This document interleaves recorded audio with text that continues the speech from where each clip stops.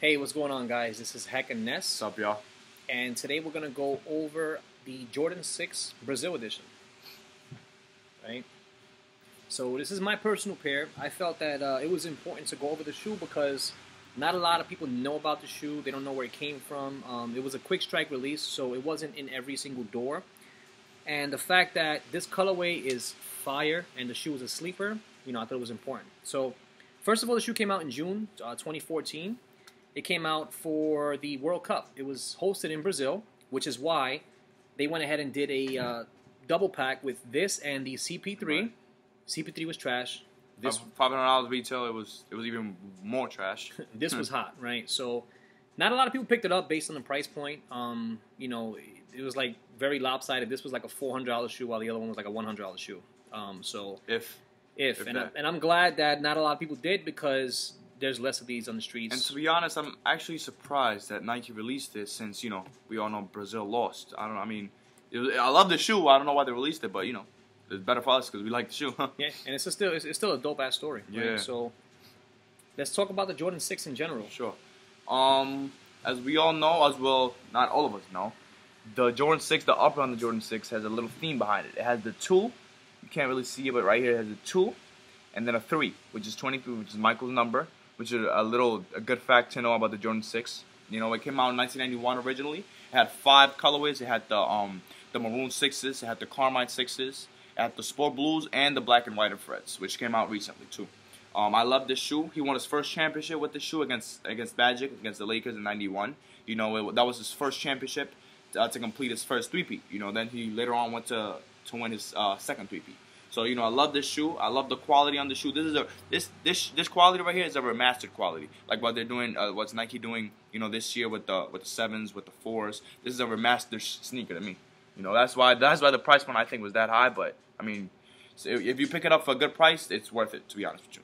So, yeah. Absolutely. So much like Ness said, the shoe came out in '91. Um, at that time, this was the last of the Nike Air, right? On back. uh, Jordan Six. Everything else before it came with it. Everything else did not come with Nike Air anymore. Right. Except Um, for the ones and the twos, they did not have Nike Air. Threes, fours, and fives, sixes, they had Nike Air. Yeah. Exactly, which is pretty dope. I love the way the Nike Air looks on the shoe. Um, I wish they would have, you know, they do bring it back every now and then with retro, sometimes very sporadic.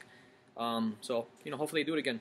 But nonetheless, Brazil six. So the six is a really dope shoe. You've got leather, suede, and the splattered paint, which is again Brazil themed, is textured, right? So you can actually feel it on the shoe. You got the lace locks with the same exact colorway to complement, right? Yellow with that green. The Jumpman logo. I love the fact that the tongue It's is black. black. Now, my reason being is because I love to preserve my shoes. I wear my shoes, and that being said, this will not turn yellow on you. You understand? The first thing that I notice on a shoe is yellowing. It really does bother both of us when it, when I, when a shoe is yellow. Yeah. So the only really wear you'll see on the shoe is the clear bottom. You know, you'll see oxidation over time. That's inevitable. You know, they got tons of stuff out there for it now. But nonetheless, the shoe is going to maintain its integrity. It's going to look really good. You know, very minimal creasing based on the fact that you have leather and suede going on. And this is like this shoe is worn. You know, this is my personal pair, like I said. But when you have a lot of shoes and you can, you know, keep them in rotation and wear them every now and then, they kind of do maintain their integrity. One shoe that I do want to compare it to is um is actually right over there. Is is the um History Jordan Six, as we all know, the Spit Like Six came out recently. I want to compare it because the quality on the leather on it too is very very good. You know, very very good quality, just like this one. You know, I, wa- I wanted to bring that out and um yeah, as we said before, as Heck mentioned, the quality on this is sub is just it's just great quality. It's as I said, it is remastered quality. So you know, Yeah, so some of the dopest shoes that came out for 2014 have been sixes. You know, they've been quick Yeah. strike releases. Things like the Brazil Six, Champagne and Cigar Pack, uh, Exactly. the Slam Dunk Sixes, right? that history of Jordan Six. You understand? Exactly. Um, As we all know, you know, last year was the year of the six. The year before that was the year of the five. You know, 23 anniversary. That's what we call. You know, the year of whatever shoot. This year, the year of the seven. You know, Bordeaux, Olympics, French Blues, which are coming out. You know, in a couple weeks. Yeah, exactly. Actually, next week. you know, yeah. like we said, the price point was tough. Five hundred dollars Yeah. for that, you know, pack, the CP3. You know, it was you had to kind of dump that out because it wasn't really worth anything. As I see it, four hundred dollars for that, hundred dollars if that for the CP3. yeah. to be honest. if you haven't picked it up, pick it up. The shoe looks really dope on feet. You Right. know, it's uh, it's got a really stealthy look to it with really nice accents. You know, it's very Right. bright. Looks good with joggers. Looks good Mhm. with sweatpants. You know, you can really you can crush this shoe. You Right. understand? And so I, I, one thing I do want to say, I know we mentioned it in our last video, but this shoe, to find a dead stock in two, three, four years, it will it will be a pretty penny to pay. All right, it's gonna be at least four hundred dollars to pay for a good condition shoe. more, especially, it- especially if you yeah. if you can split the pack up because Exactly. this is the shoe that's worth money. The other one's not. It's really not. So, So if I you see this one going up to like five, Exactly. six hundred by itself. if you like this shoe and you and you really want it, please get it now because you're not gonna find it for a good price later on. You're really not. I'm looking for it and I can't find it. and I was able to pick up mine by itself, so I'm happy. Um, Exactly. I don't know why the, the guy actually. I, I, I traded this shoe actually. It was it was dead stock when I got it. Um, I forgot what shoe I even traded him for. I believe it was the champagne. Champagne, Champagne which was a dope shoe by yeah. itself also. Um, but I felt the champagne was out there more for some reason. Believe it or not, um, a lot of people picked that shoe up. Yeah. I like this one better. And trust me when I tell you, I've seen more people wearing champagnes than this one. Um, and I have not, and I have not seen people wear the champagne. That meaning that you will see even less people wearing the, you know, the Brazil. Exactly. When I wear this shoe, it, it, I think it's so rare that people think it's fake, and I, Yeah. I tell them the story behind it. You know, I mention the pack or whatever, then they believe me.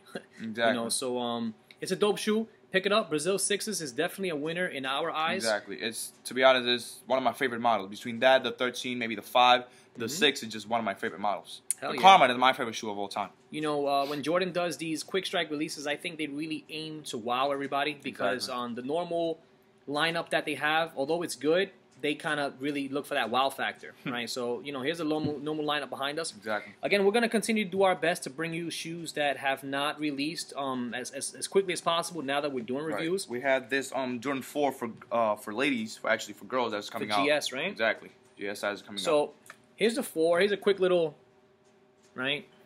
Just a quick run around the shoe. We'll see if we get a uh, nice, you know, GS like size seven for you, so we can do a good review on it before it releases. Again, today is January 18th, and we're kind of just showing you some of these exactly. shoes ahead of time, right? So. Yeah. Getting our feet wet, you know, in this YouTube world, you know. Yeah. So Uh-huh. have fun. You know, um, we thank you again for listening. You know, you guys have options out there. Continue to, you know, support us. Hit like on it. Know. Tell people about us. We're gonna, you know, try our best to bring you reviews on shoes that you want Yeah, to see. Give, give us, you know, your input in the comments below. You know, give us all of that. You know, we want to hear it. We want to listen to it. We want to, we want to read it. You know, And if you got anything dope, listen. I wear size 11 from 11 through 12. I'll wear a 10 and a half to throw. Okay, So please, if you want to make some trades, hit Exactly. us up. Interested? You know, let us know. Again, Heck Ness. All right, man. Thank you for listening. Take care, guys. Hope to see you soon. Peace.